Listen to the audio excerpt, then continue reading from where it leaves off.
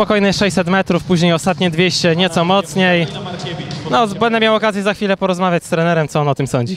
Dreszczyk emocji jak zwykle jest i to bardzo pozytywne zjawisko. Potrzebne, co potrzebne, żeby e, de facto wystartować i ukończyć bieg mniej zmęczonym. E, I tak, ta, ta grupa 4 minima na Mistrzostwa Halowe e, w Pradze. Jutro zapowiada się bardzo ciekawy finał.